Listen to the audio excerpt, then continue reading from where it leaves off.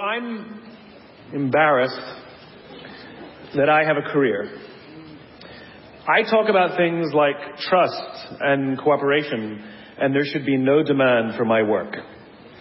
But the fact of the matter is, is there is demand for my work, which means that there's an opportunity.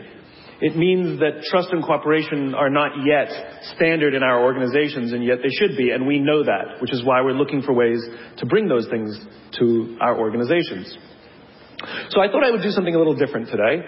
You know, when you're speaking to tens of thousands of people and you have the opportunity to share a message, of course, most rational people would say, let's go with something I've talked about lots of times and I'm really good at, but I'm not normal, so I'm going to do something completely new, and I hope this works out.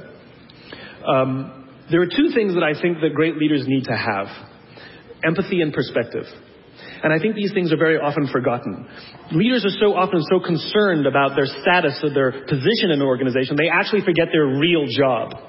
And the real job of a leader is not about being in charge, it's about taking care of those in our charge. And I don't think people realize this, and I don't think people train for this. When we're junior, our only responsibility is to be good at our jobs. That's all we really have to do. And some people actually go get advanced educations on, so that they can be really good at their jobs, accountants or whatever, right? And you show up and you work hard, and the company will give us tons and tons of training how to do our jobs. They'll show us how to use the software. They'll send us away for a few days to get trained in whatever it is that we're doing for the company. And then they expect us to go be good at our jobs. And that's what we do. We work very hard. And if you're good at your job, uh, they'll promote you. And at some point, you'll get promoted to a position where we're now responsible for the people who do the job we used to do, but nobody shows us how to do that. And that's why we get managers and not leaders. Because the reason our managers are micromanaging us is because they actually do know how to do, do the job better than us. That's what got them promoted. Really, what we have to do is go through a transition. Some people make it quickly, some people make it slowly, and unfortunately, some people will never make that transition at all. Which is we have to go this, through this transition of being responsible for the job and then turning into somebody who's now responsible for the people who are responsible for the job. And as I said before, one of the great things that is lacking in most of our companies is that they are not teaching us how to lead. And leadership is a skill like any other. It is a practicable, learnable skill. And it is something that you work on. It's like a muscle. If you practice it all the days, uh, you will get good at it and you will get, become a strong leader. If you stop practicing, you will become a weak leader. Like parenting, everyone has the capacity to be a parent. Doesn't mean everybody wants to be a parent, and doesn't mean everybody should be a parent. Leadership is the same. We all have the capacity to be a leader. Doesn't mean everybody should be a leader, and it doesn't mean everybody wants to be a leader. And the reason is because it comes at great personal sacrifice. Remember, you're not in charge, you're responsible for those in your charge. That means things like when everything goes right, you have to give away all the credit. And when everything goes wrong, you have to take all the responsibility.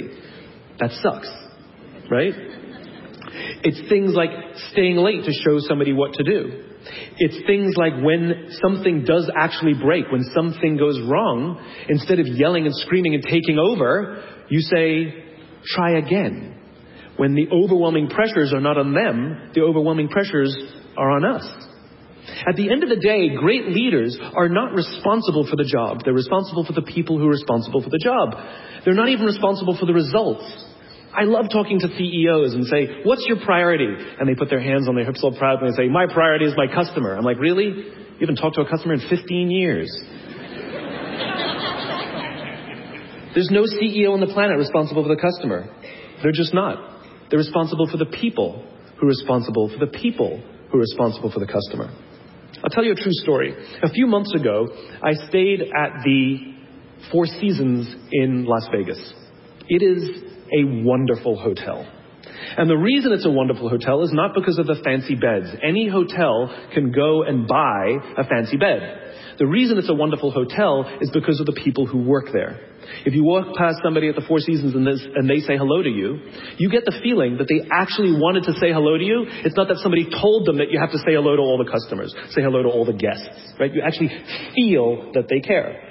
Now, in their lobby, they have a copy stand. And I, one afternoon, I went to buy a cup of coffee, and there was a barista by the name of Noah who was serving me. Noah was fantastic. He was friendly and fun, and he was engaging with me, and I had so much fun buying a cup of coffee, I actually think I gave a 100% tip, right?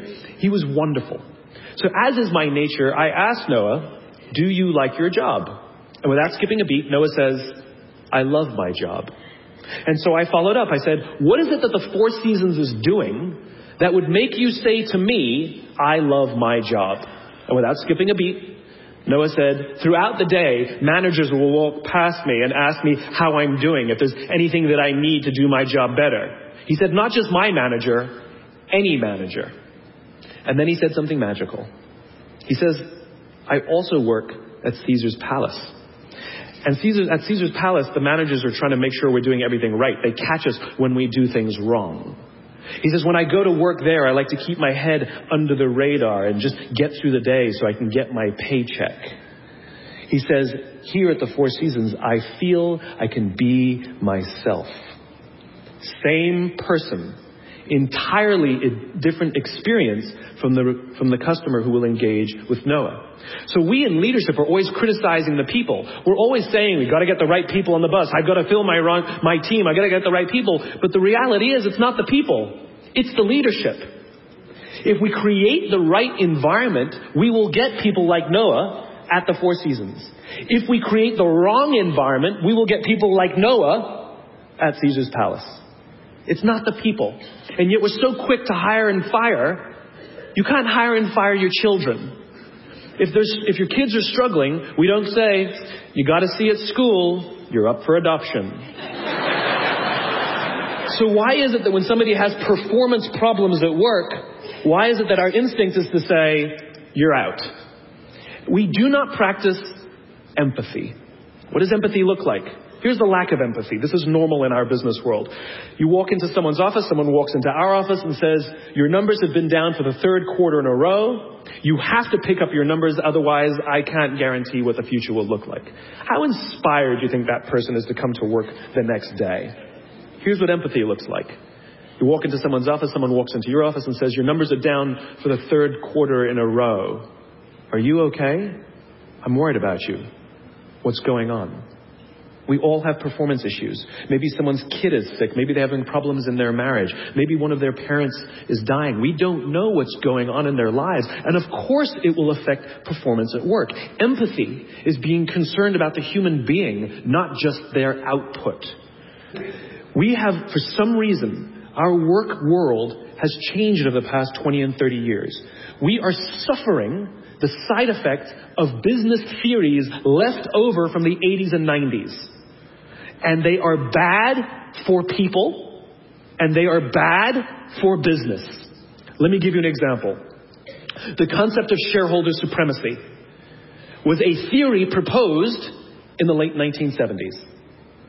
It, it was popularized in the 80s and 90s. It is now standard form today. You talk to any public company and you ask them their priority and they say maximize shareholder value. Really? That's like a coach prioritizing the needs of the fans over the needs of the players. How are you going to build a winning team with that model? But that's normal today. We don't even perceive it as broken or damaged or wrong or outdated. Remember, the 80s and 90s were boom years with relative peace and a kinder, gentler Cold War. Nobody was practicing hiding under their desks in school anymore. We are no longer in those times. These are no longer boom years. These are no longer peaceful times, and those models cannot work today. Here's another one mass layoffs. Using someone's livelihood to balance the books. Right? It's so normal in America today that we don't even understand how broken and how damaging it is, not only to human beings, but to business. You know, companies talk about how they want to build trust and cooperation and they announce a round of layoffs. Do you know the quickest way to destroy trust and destroy cooperation in a business, literally in one day? Lay people off. And everyone gets scared. Right? Can you imagine sending someone home to say, honey, I can no longer provide for our family because the company missed its arbitrary projections this year? And forget about the people who lost their job. Think about the people who kept their jobs. Because every single decision a company makes is a piece of communication. And the company, the company has just communicated to everybody else, this is not a meritocracy. We don't care how hard you work or how long you've worked here. If we miss our numbers and you happen to fall on the wrong side of the spreadsheet, I'm sorry, we cannot guarantee employment. In other words, we come to work every day afraid. And we're asking our youngest generation to work in environments where how would any of us ever stand up and admit, I made a mistake? We're constantly being told you have to be vulnerable. Leaders are vulnerable. What does that even mean? It doesn't mean you walk around crying. I'm vulnerable, right? No, what vulnerability means is you create an environment in which someone feels safe enough to raise their hand and said, I don't know what I'm doing. You've given me a job and I haven't been trained to do it. I need help. I made a mistake. I screwed something up. I'm scared. I'm worried. All of these things no one would ever admit inside a company because it puts a target on your head in case there's another round. And so we keep it to ourselves. And how can a company ever do well if nobody's ever willing to admit they made a mistake, that's scared, or they don't know what they're doing? And so we've literally created cultures in which every single day everybody comes to work and lies, hides, and fakes. And we're asking our youngest generation to work and succeed and find themselves and build their confidence and overcome their addiction to technology and build strong relationships at work. We're asking them to do this, and these are the environments we've created. We keep saying to them, You're the future leaders. We're the leaders now. We're in control. What are we doing? This is what empathy means. It means if there's an entire generation struggling, maybe it's not them. It's like, you know, the only thing that I, uh, that, um, the common factor in all my failed relationships? Me. Same thing. Well, we just can't get the right, you know, the right performance out of our people. Maybe it's you. Right? It's not a generation. It's not them. They're not difficult or hard to understand. They're human beings like the rest of us, trying to find their way, trying to work in a place where they feel that someone cares about them as a human being. By the way, that's what we all want. In other words, it's not even generational. It's all of us. This is the practice of empathy. That if we're struggling to communicate to someone, if we're struggling to help someone be at their natural best, I'm tired of people saying to me, How do I get the best out of my people? Really? That's what you want? They're like a towel, you just wring them. How can I get the most out of them? No. How do I help my people be at their natural best? Right? We're not asking these questions. We are not practicing empathy. We have to start by practicing empathy and relate to what they may be going through. And it will profoundly change the decisions we make. It will profoundly change the way we see the world. Someone's driving to work. You're driving to work and someone wants to cut into your lane, what do you do? Do you pull your car up or do you let them in? Most of us pull our cars up and go like this. You wait your turn. Now let's practice empathy. I don't know. Maybe they've been out of work for six months. Maybe they had trouble getting the kids out to school this morning and now they're running late for a really important interview and they just have to get to this interview and they're going to cut into our lane. Or maybe they're just a bastard. I don't know. but that's the point. We don't know.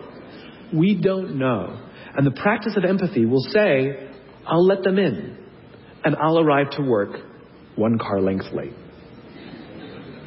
Right? We don't always have to be right. We don't always have to be in charge. We don't always have to be the one who succeeds. It's not about winning or losing. And that's where I go to the second point. After empathy comes perspective, where it's not about winning or losing. In game theory, there are two kinds of games. There are finite games and there are infinite games. And this is how you're going to change your perspective. Right? A finite game is defined as known players, fixed rules, and an agreed upon objective. Baseball, for example. We know the rules, we all agree to the rules, and whoever has more runs at the end of nine innings is the winner, and the game is over.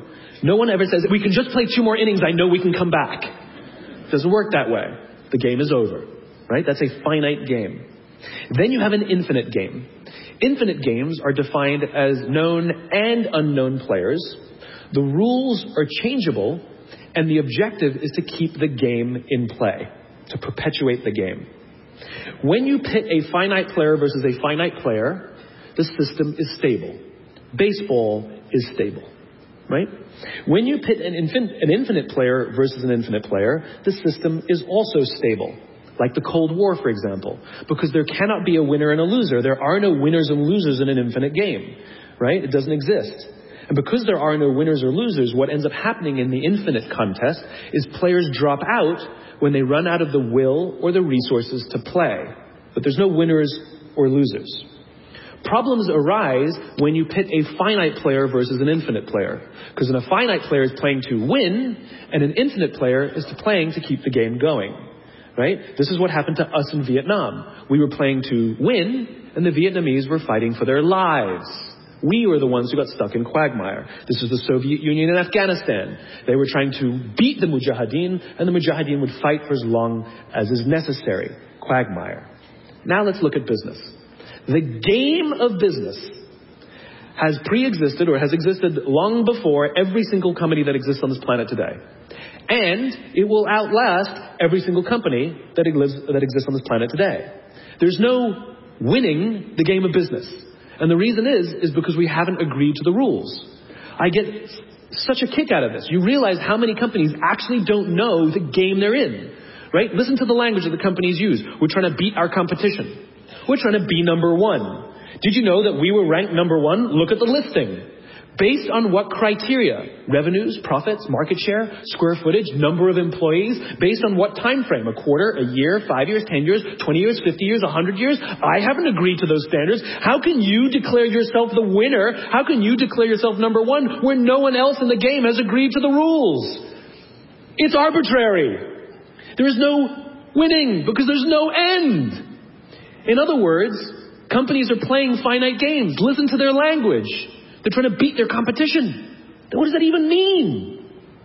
It's the leaders in the companies that understand the game that they're in and organize their resources and their decision making around the infinite contest that outlast and frustrate their competition. All the companies that we refer to as the exceptions, Southwest Airlines, Apple Computers, Harley Davidson, they're the exception. No, they're playing the infinite contest. They frustrate their competition, is what happens.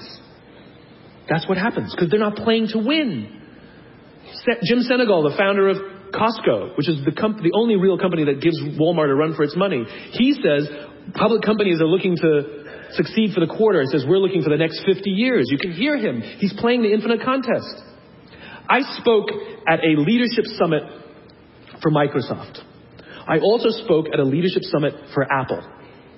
Now, at the Microsoft summit, I would say 70% of the executives, and this was under the Steve Ballmer days, I would say about 70% of the executives spent about 70% of their presentations talking about how to beat Apple. At the Apple summit, 100% of the executives spent 100% of their presentations talking about how to help teachers teach and how to help students learn. One was obsessed with their competition, the other one was obsessed with where they're going. So at the end of my presentation at Microsoft, they gave me a gift. They gave me the new Zune, which was the competitor to the iPod Touch when it was a thing, right? And I have to tell you, this piece of technology was spectacular. It was beautiful. The user interface was incredible. The design was amazing. It was intuitive. It was one of the most beautiful, elegant pieces of technology I'd ever seen.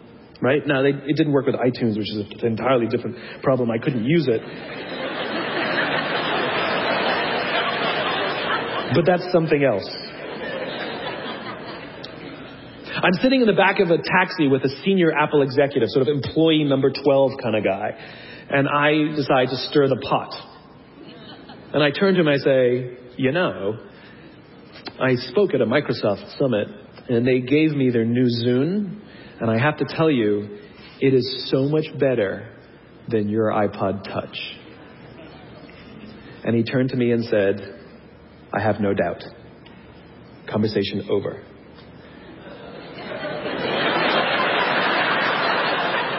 because the infinite player isn't playing to be number one every day with every product. They're playing to outlast the competition. If I had said to Microsoft, oh, I've got the new iPod Touch, it's so much better than your new Zune, they would say, can we see it? What does it do? How, we have to see it.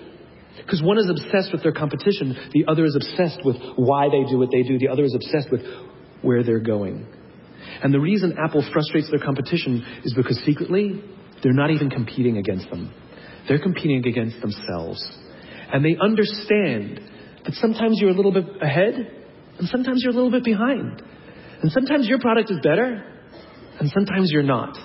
But if you wake up every single morning and compete against yourself, how do I make our products better than they were yesterday? How do I take care of our customers better than we did yesterday? How do we advance our cause more efficiently, more productively than we did yesterday? How do we find new solutions to advance our calling, our cause, our purpose, our belief, our why every single day? What you'll find is over time, you will probably be ahead more often. Those who play the infinite game understand it's not about the battle, it's about the war. And they don't play to win every day. And they frustrate their competition until their competition drops out of the game. Every single bankruptcy, almost every merger and acquisition is basically a company saying we no longer have the will or the resources to continue to play, and we have no choice to either drop out of the game or, res- or merge our resources with another player so that we can stay in the game. That's what that is. And if you think about the number of bankruptcies and mergers and acquisitions, it's kind of proof that most companies don't even know the game they're in. You want to be a great leader, start with empathy.